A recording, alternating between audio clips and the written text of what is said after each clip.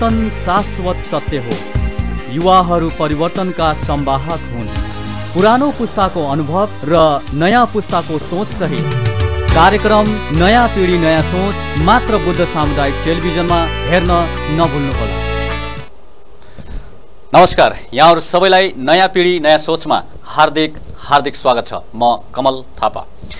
दर्शक महानुभाव मफसलको राजधानी भनेर चिनिने बुटोलमा यो मात्रै नाम होइन। अहिले यो बुटोललाई शिक्षाको हब उद्योगको हब यो मात्र होइन। अब त यहाँ विभिन्न फेयर एक्जिबिसन ट्रेड प्रदर्शनी लाग्ने हब पनि भनेर चिनिन थालिएको छ।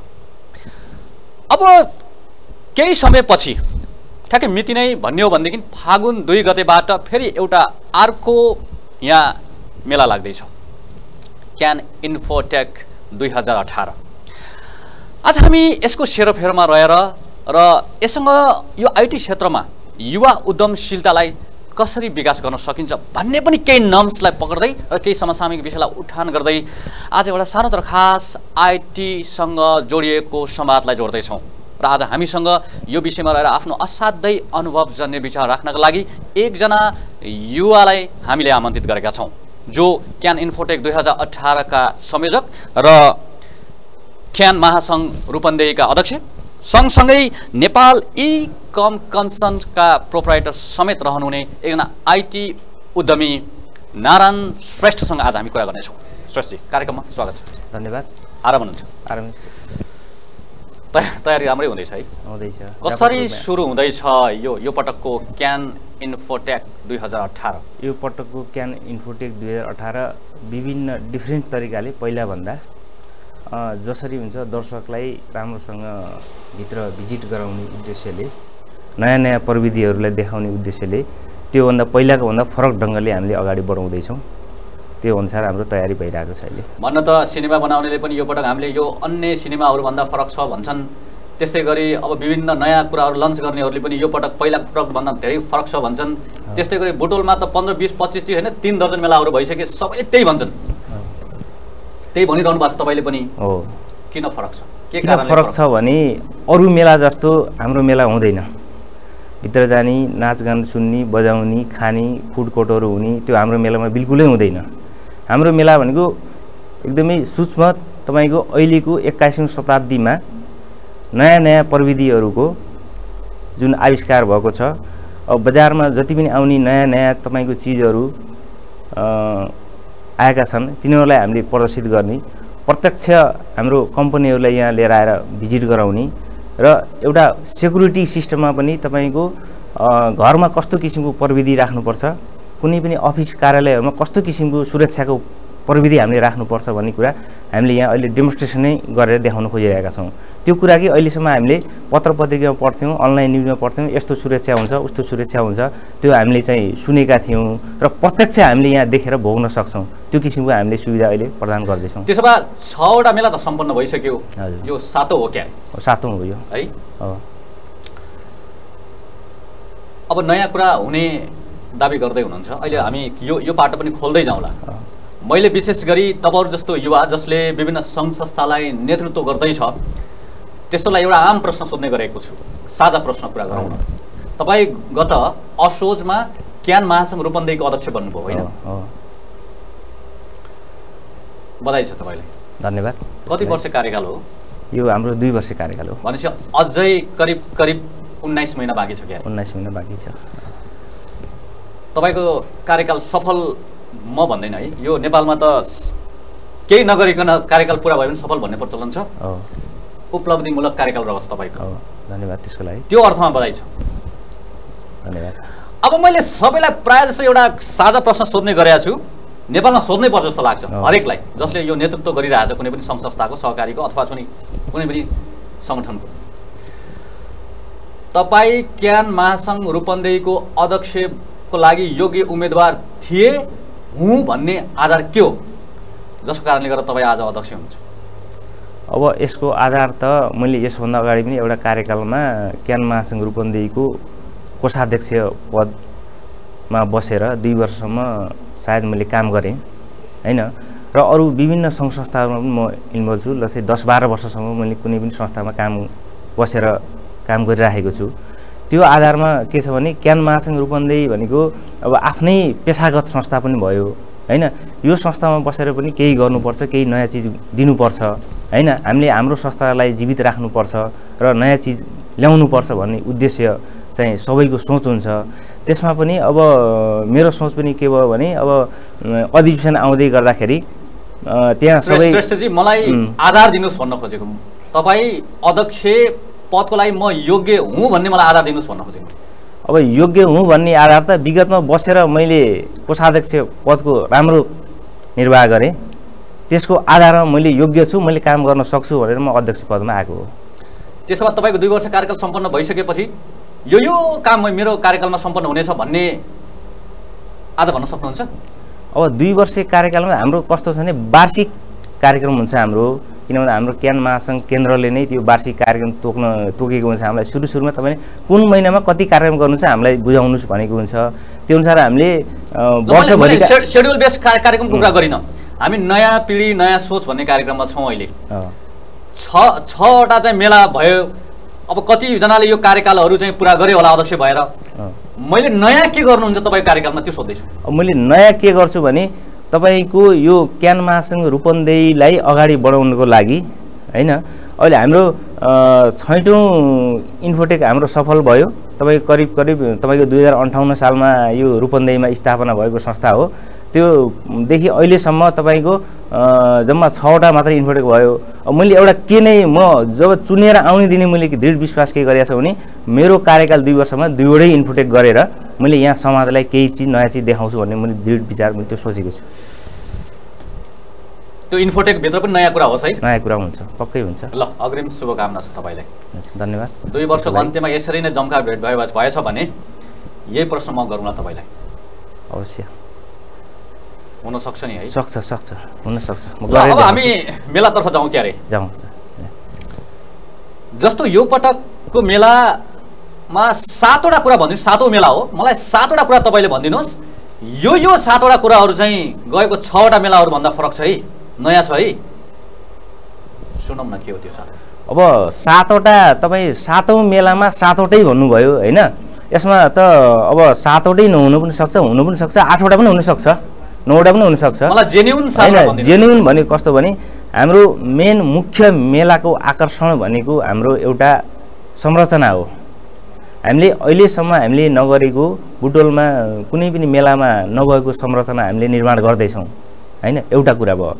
अर्को कुरा हामीले यस्तो प्रविधि यहाँ भित्र्याउँदैछौँ जुन त्यो प्रविधिलाई हामीले जनमानसमा प्रत्यक्ष देखाउनको लागि हामीले चाहिँ एउटा दुई तलाको बिल्डिङ पनि त्यहाँ बनाउँदैछौँ। बनिसकेको छ त्यो लगभग नाइन्टी पर्सेन्ट कम्प्लिट भइसकेको थियो त्यो बिल्डिङबाट तपाईँले प्रत्यक्ष रूपमा तपाईँले अहिलेसम्म सुन्नु भएको छ जनमानसमा अहिले त्यो चाहिँ पत्र पत्रिकामा मात्रै सीमित छ र हामीले प्रत्यक्ष रूपमा लाइभ त्यहाँ चाहिँ सेक्युरिटी भनेको के हो के चिज हो त? कस्तो सेक्युरिटी हामीलाई चाहिन्छ भने बिल्डिङबाट ल छवटा अझै के नयाँ छ त्यस्तो? अर्को नयाँ भनेको हामीले यहाँ स्थानीय स्तरमा होस् राष्ट्रिय स्तरमा होस् यहाँका स्थानीय लेभलका तपाईँको विद्यार्थीहरूले अहिलेसम्म चाहिँ यहाँ कस्तो प्रविधि भनेको कुनै पनि समस्याको समाधान गर्न सक्ने एउटा यस्तो प्रविधि हामी भित्राउँदैछौँ त्यो प्रविधि हामी देखाउँछौँ मात्रै समाधान गर्न सक्ने कि पत्ता लगाउन सक्ने? पत्ता लगाउन सक्ने। प्रविधि हामीले त्यहाँ चाहिँ ल्याउँदैछौँ। होइन त्यो पनि अहिलेसम्म मेलामा नआएको चिज हो। अहिले म यहाँ चाहिँ यति मात्रै भने कि यस्तो प्रविधि छ तपाईँ त्यहाँ देख्यो भने पनि आफैलाई अचम्मित पार्ने किसिमको प्रविधि अब पाँचवटा बाँकी रह्यो मैले संरचना भनिसकेँ। यसमा होइन अहिलेसम्म नबनेको संरचना। सेक्युरिटीको कुरा गरेँ संरचनाको कुरा गरेँ। अब हामीले अहिलेसम्म मान्छेलाई अब अर्को तेस्रोमा चौथोमा भन्दाखेरि भन्नुपर्दाखेरि तपाईँले प्रविधि भन्ने चिज तपाईँले बाहिर बाटोबाट देख्न सक्नुहुन्छ अहिले। तपाईँको गेटबाटै सुरु हुन्छ। कस्तो किसिमको आइटीमा प्रविधि हुने रहेछ र के हुने रहेछ नयाँ प्रविधि केसम्म आएको रहेछ भने तपाईँले गेटबाटै तपाईँले मेन रोडबाटै त्यो ढङ्गको सेटिङ हुन्छ। त्यसमा पनि हामी प्लानिङ गर्दैछौँ। होइन? अब चार पाँच छ बुधा भन्दै हुनुहुन्छ भने यो किसिमको नयाँ जस्तै अब तपाईँको नेपालको उसमा चाहिँ अहिलेसम्म हामीले कुनै पनि चिज तपाईँले गर्नु पऱ्यो भने होइन एक दुई तिन चार पाँच भन्ने लिखित रूपमा हामीले चाहिँ त्यहाँ क्यालकुलेटरले जोड्ने गरिन्छ नि त्यहाँ अटोमेटिक इलेक्ट्रोनिक सेट पनि हामी त्यहाँ ल्याउने प्रयास गरिरहेको छौँ जहाँसम्म त्यो पनि हुनेछ।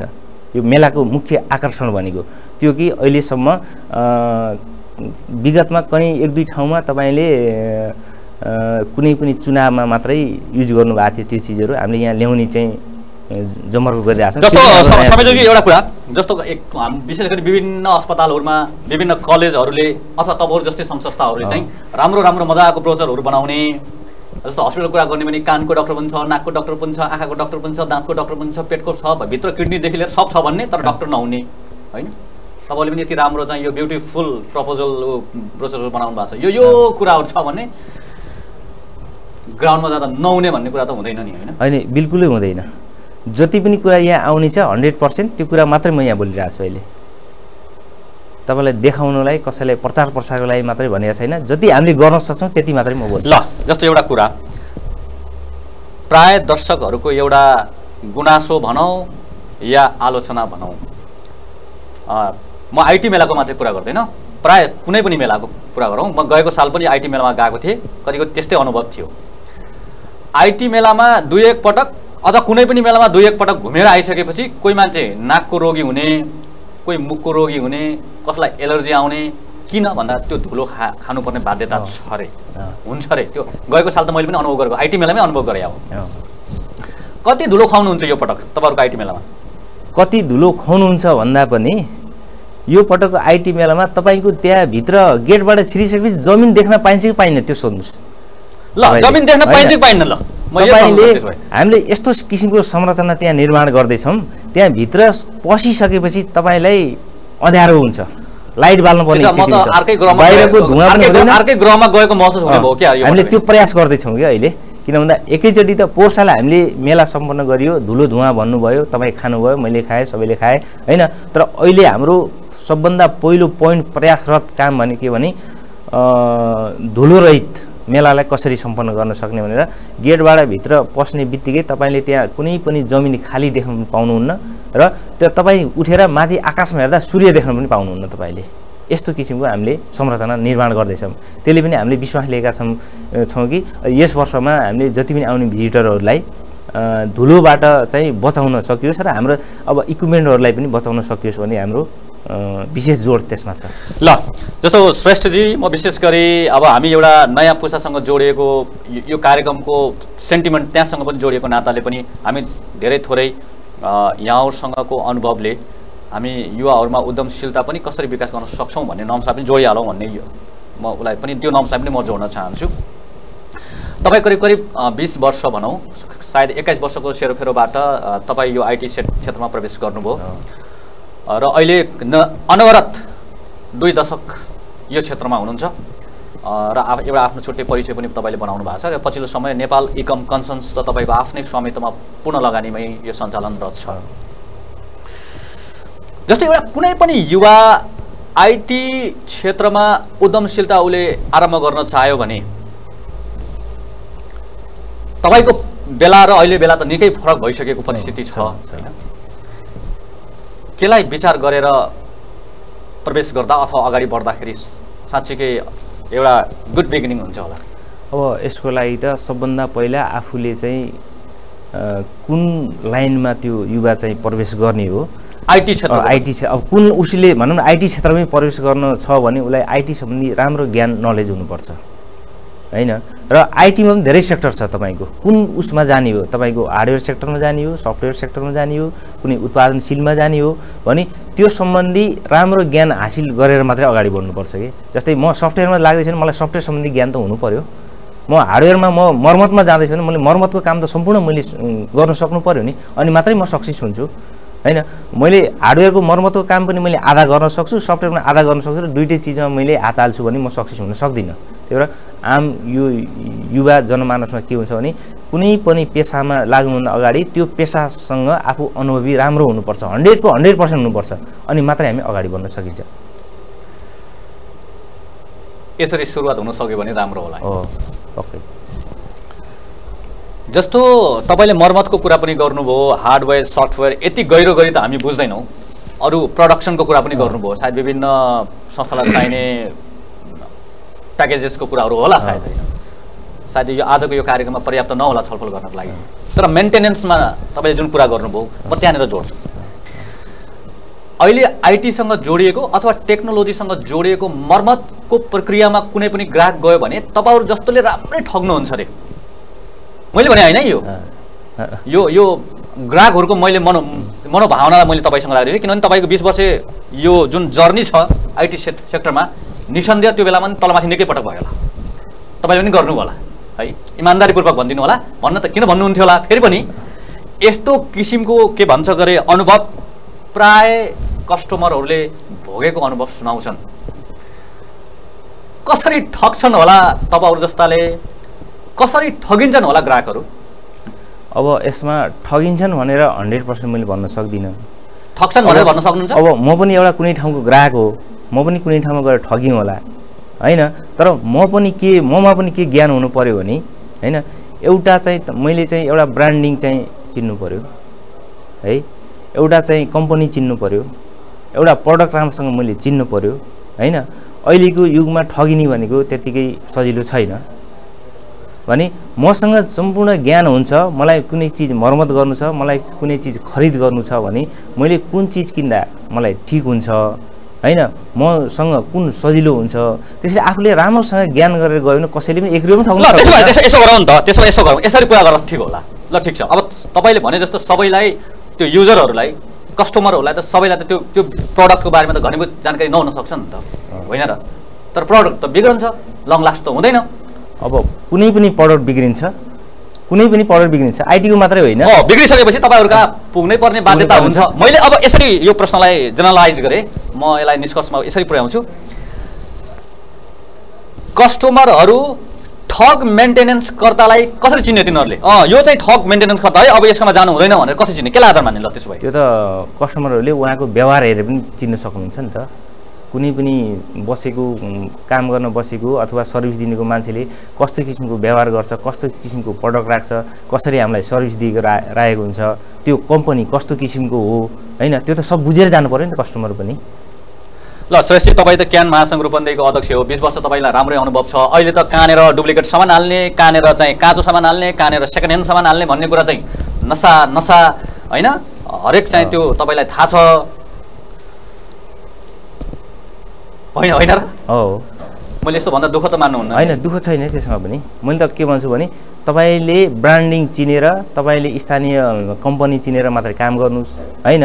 यहाँ त कस्तो छ भने एउटा सामान ल्याएर दुई महिना बेच्ने तिन महिनापछि भागेर हिँड्ने। कुनै पनि पेसामा छ कि? आइटीमा मात्रै होइन। होइन? यस्तो किसिमको कम्पनी नरोज IT मा पनि। एउटा आइटीमा पनि IT मा पनि छ? ब्रान्डलाई चिनेर मात्रै तपाईँले काम ल त्यसो भए रूपन्देही क्यान महासङ्घ रूपन्देहीको कन्टेक्समा कुरा गरौँ न। त्यस्तो तपाईँहरूको मातहतमा पनि सङ्घ संस्थाहरू छन् है संस्थाहरू छन् आइटी संस्थाहरू छन् होला है यो बुटोलमा पनि छन् होला भैरवा पनि छन् होला है। होइन कुनै पनि सेक्टरमा हुनसक्छ। हाम्रो मातहतमा मात्रै नभएर कुनै पनि सेक्टरमा त्यो हुन्छ। त्यसो भए त। ग्राहकहरू ठगिराखेको पनि छन् होला है। अब ठगिराखेको त त्यो त्यसरी भन्नु मिल्दैन। होइन? त्यस्तो छ त अब तिमीले बेच्ने कुरा चाहिँ त्यही ढङ्गको हुन्छ। त्यो ढङ्गको भन्नु भनेको ग्राहक ठगिनु नै हो। होइन र त्यो ठगिनु भन्नु सरासर मिल्दैन के? के अब- यसमा त? मैले? सर्टकटमा मैले भन्छु। होइन सर्टकटमा मैले के भन्छु भने अब यो ठगिने काम कहीँ पनि हुनु हुँदैन कसैले पनि गर्नु हुँदैन। यो ग्राहकले पनि त्यसमा बुझेर जानुपर्छ र सम्पूर्ण व्यापार बिजनेस गर्ने सर्भिस गर्न बस्नेहरूले पनि यो काम गर्नु हुँदैन तपाईँहरू। जस्तो तपाईँहरू जस्तो मैले त महासङ्घको तपाईँ अध्यक्ष नै हो तपाईँहरू जस्तोको पनि दायित्व बन्छ कि बन्दैन कि अब ग्राहकहरू नठगिउन् यस्तो ठगीको चाहिँ के भन्छ व्यापार नहोस् भने तपाईँहरूले पनि आफ्नो तर्फबाट भूमिका निर्वाह गर्नुपर्छ कि पर्दैन होइन? हाम्रो तर्फबाट भूमिका निर्वाह भइराखेको छ हामीले सम्पूर्ण साथीहरूको पसलमा गएर भिजिट पनि गरिरहेका छौँ हामीले अनुरोध पनि गरिरहेका छौँ अब त्यो किसिमको चाहिँ हामीले चाहिँ नयाँ चाहिँ काम चाहिँ गरिरहेका छौँ अहिले। ल अब तपाईँको मेलातर्फ फेरि जाउँ क्यारे। जस्तो यो पटक हामी मेला जान्छौँ अब दुई गतेदेखि फागुनको छ गतेसम्म। छ गतेसम्म सञ्चालन हुनेछ। त्यहाँभित्र एउटा यस्तो किसिमको परिस्थिति छ कि छैन होला? कि आज हामीले जुन प्रविधि प्रयोग गर्दैछौँ त्यो प्रविधिले प्रब्लम पनि त्यत्तिकै चाहिँ उत्पादन गरिरहेको छ भन्ने कुरा यहाँहरूलाई घनीभूत थाहा छ हामीलाई भन्दा पनि। यदि एउटा कुनै पनि नव नवीन पुस्ता अथवा युवाहरू त्यहाँभित्र प्रवेश गरिसकेपछि कस्तो किसिमको मनोविज्ञान बनाएर जाँदाखेरि त्यो आइटी मेला सन्दर्भमा के मनमा चाहिँ बोकेर जाँदाखेरि साँच्चीकै अँ तपाईँले अपेक्षा गरे अनुसारको भिजिटर बन्न सक्ला? अब हामीले अपेक्षा गरे अनुसारको भिजिटर बन्न त्यहाँभित्र गएर घुम्दै गर्दाखेरि सर्वप्रथम त उसले एक सयभन्दा बढी कम्पनीका ब्रान्डिङहरू र कम्पनीहरूसँग प्रत्यक्ष उसले डिल गर्न सक्छ। उसले युज गरिरहेको चिज अहिले त बुटोलमा किनिएको छ भैरवमा किनिएको छ काठमाडौँमा गएर किनिएको छ तर प्रत्यक्ष कम्पनीसँग भेट्न पाएको छैन नि। त्यो हामीले सिर्जना गरेका छौँ कि त्यहाँ कुनै पनि भिजिटर जाँदाखेरि उसले प्रत्यक्ष कम्पनीको प्रतिनिधिसँग डिल गरेर प्रत्यक्ष कम्पनीको बारेमा जानकारी लिन सक्छ। एउटा अर्को कुरा उसले प्रत्यक्ष रूपमा लाइभ रूपमा सेक्युरिटीको सिस्टमहरू उसले लाइभ हेर्न सक्छ। अर्को कुरा तपाईँ तपाईँको आफू आफ्नो लेभल बराबरको जस्तै मान्छौँ पच्चिस वर्षको कुनै कलेजमा बस्ने बस्ने विद्यार्थी पढ्ने विद्यार्थी त्यहाँ मेला अवलोकन गरेर जाँदैछ भने उसकै लेभलको उसकै जुनियर लेभलको विद्यार्थीले कतिसम्म पढेर त्यहाँ के के गर्न सक्दो रहेछ त? कस्तो किसिमको प्रविधि उसले बनाउन सक्दो रहेछ त? भन्ने चिज पनि त्यहाँ उसले देख्न सक्छ। अनि अर्को कुरा के छ भने अब त्यो चाहिँ प्रविधि त्यो मेसिनरी सम्बन्धी भयो। अझ हामीले त्यहाँ सफ्टवेयर सम्बन्धी पनि है हामीलाई यहाँ सफ्टवेयर भन्ने बित्तिकै अरू विभिन्न बाहिर देशको उ- अरू आउँछ होइन। यहीँ बुटोलमा बसेर पनि यहीँ लोकलमा बसेर यहीँ नेपालमा बसेर पनि कस्तो किसिमको सफ्टवेयर बनाउन सक्दो रहेछ त? के हुने रहेछ? त्यो प्रविधि पनि त्यहाँ उसले देख्न सक्छ। गर्दा गर्दै हामीले एउटा यस्तो अफर पनि त्यहाँ ल्याएका छौँ कि त्यहाँ भित्र जाने भिजिटरहरूलाई प्रत्येक दिन त्यहाँ हामीले चाहिँ पहिलो टिकट काटेर भित्र छिर्ने चाहिँ भिजिटरलाई हामीले फ्रीमा एक हजार रुपियाँ बराबरको एन्टिभाइरस इन्टरनेट सेक्युरिटी सिस्टमको एन्टिभाइरस हामीले फ्रीमा बाँड्दैछौँ त्यहाँ त्यो पनि छ त्यसो भए त फर्स्ट बन्नको लागि चाहिँ यहाँ ठुलै। दरबार हुने भयो अनि त्यसपछि गएर अब अनलाइन टिकट जसले खरिद गर्छ नि त्यहाँ गएर अनलाइन टिकट खरिद गरेर जो गेटबाट भित्र छिर्छ उसले पचास रुपियाँ तिरेर अनलाइन टिकट खरिद गर्छ उसले पचासी रुपियाँ रिटर्न ब्याक पाउँछ। त्यो पनि सुविधा छ। नवीन प्र्याक्टिस त्यो नवीन प्र्याक्टिस त्यो पनि छ। अर्को छ अब प्राइजका कुराहरू त यो सामान्य नर्मलै भइहाल्यो कुनै पनि मेलामा हुन्छ टिकटमा लकी ड्रबाट हामीले अटोमोबाइल प्रत्येक दिन फ्री दिने भनिरहेछौँ होइन? त्यो कुनै पनि मेलाले गर्छ। अझ हाम्रो प्लस पोइन्ट के छ भने हामीसँग एउटा राष्ट्रिय स्तरको कमर्सियल ब्याङ्क हुनुहुन्छ। होइन? हामी कहाँ त्यहाँ स्टलमा आउनुहुन्छ।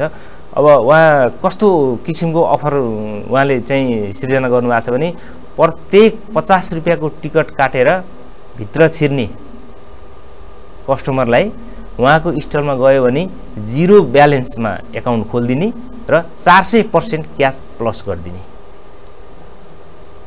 त्यो स्किम पनि छ। त्यो स्किम पनि छ। भनेपछि मान्छेलाई जनमानसलाई त्यहाँ पैसा खर्च गरेर टिकट काटेर भित्र गएँ भन्ने चाहिँ पैसा खर्च पचास रुपियाँ खर्च गरेर क्यान्टिनमा गएँ र मैले के पाएँ मैले यो पाइनँ भन्ने सोच्नु पर्दैन कि? जे होस् त्यहाँ गइसकेपछि केही लिएर फर्कन केही लिएर फर्किन। सकिन्छ। ल अब श्रेष्ठजी हामीसँग समय करिब करिब अब सिद्धिसकेको अवस्था छ। अब एकदमै अन्त्यमा अब तपाईँको अभिमत राखिदिनु होला हामीले जस्तो सूचना प्रविधि विकाससँगै विभिन्न समस्याहरू पनि बोक्दै आइरहेको यहाँलाई घनीभूत थाहा छ होइन। अब त्यो बेलामा अब हजारौँ विद्यार्थीहरू भनौँ अथवा हजारौँ युवाहरू भनौँ अथवा सेवाग्राहीहरूको सहभागिता निसन्देह रहनेछ। के तपाईँहरू त्यो ठाउँमा यस्तो पनि व्यवस्था गर्नु भएको छ जसको कारणले गर्दा जनचेतना सामाजिक जनचेतना पनि फैलियोस् आइटीसँग जोडिएको कुराहरू जोखिमका कुराहरूसँग चाहिँ सचेत बनाउने त्यस्तो केही त्यहाँ त्यस्तो ढङ्गको पनि केही डिस्प्लेहरू हुन्छ? अन्त्यमा। अन्त्यमा के छ भने त्यहाँ त्यो किसिमको चाहिँ अब जनमानसमा चेतना फैलाउने कुराको जुन स्थानीय वैज्ञानिकले उत्पादन गरेका चिजहरू छन् नि त्यो चिज हामी कहाँ रहन्छ? अहिले यो रहन्छ म भन्दिनँ। किन भन्दाखेरि मैले अघि नै पनि भनिसकेँ। कुनै पनि समाधान तपाईँको त्यो पत्ता लगाउनलाई अथवा त्यो सूक्ष्म चिज देख्नलाई के के के चिज बन्दो रहेछ भन्ने त्यहाँ चाहिँ भित्र हामीले सो गर्छौँ। किन भन्दा त्यहाँ सो गर्दा कस्तो छ भने अब हाम्रो त्यहाँ दुईवटा मेला छ एउटा कृषि मेला पनि त्यहाँ हुँदैछ। बुटोल उद्योग वाणिज्य सङ्घले हाम्रो इन्फोटेक पनि हुँदैछ। होइन त्यसले गर्दाखेरि पनि त्यहाँ दर्शकहरू चाहिँ कसरी हुन्छ भित्र चाहिँ दुईपट्टि जाउन् र त्यहाँ भएको उच्च प्रविधिलाई अहिले एक्काइसौँ शताब्दीमा विश्वमा भएका उच्च प्रविधि भनेको सफ्टवेयरदेखि लिएर हार्डवेयरदेखि लिएर सेक्युरिटी सिस्टमदेखि लिएर सम्पूर्ण उच्च प्रविधि हामीले देखाउने प्रयास गर्नेछौँ। त्यो हाम्रो प्रयास जारी रहनेछ र त्यहाँ जाने भिजिटरलाई हामीले सन्तुष्ट बनाएर पठाउनेछौँ। ल यो मेला साँच्चीकै तपाईँहरूले निर्धारण गरेको उद्देश्य प्राप्त गर्न सकोस् यसले। र आइटीको क्षेत्रमा यो एउटा आधार मेला बन्न सकोस्। तपाईँ जुन क्षेत्रमा हुनुहुन्छ तपाईँ पनि एउटा प्रेरणा पात्र यो बन्न सक्नुहोस्। समय र विचारको लागि धेरै धेरै धन्यवाद। धन्यवाद। आदरणीय दर्शक महानुभाव अहिले आइटी मेला फागुन दुई गतेदेखि छ गतेसम्म हुँदैछ। यो मेला हामी हरेकका लागि परिवर्तित जीवनशैली उन्नत जीवनशैली र आइटी जीवनशैली जसले साँच्चीको प्र्याक्टिस गरिरहेका छन्। उनको लागि यो एउटा खास मौका हुनसक्छ। र यस्तो मेलाले अर्थसँग पनि जोडिने रोजगारीसँग पनि जोडिने भएको कारणले गर्दा यस्ता क्षेत्रमा पनि युवाहरूले आफ्नो उद्यमशीलता निर्माण गर्न सक्ने किसिमको त्यहाँ माहौल पनि स्टलहरू पनि अन्तर्क्रियाहरू पनि हुने हुँदाखेरि यहाँहरूको सहभागिता रहोस्। यो मेला हाम्रो मेला बनोस्। अर्थ सम्पन्नताको मार्गमा अगाडि बढ्ने मेला होस्। यही आग्रह गर्दै आजलाई बिदा हुन चाहन्छु। नमस्कार। परिवर्तन शाश्वत सत्य हो। युवाहरू परिवर्तनका संवाहक हुन्। पुरानो पुस्ताको अनुभव र नयाँ पुस्ताको सोच सहित कार्यक्रम नयाँ पिँढी नयाँ सोच मात्र बुद्ध सामुदायिक टेलिभिजनमा हेर्न नभुल्नुहोला।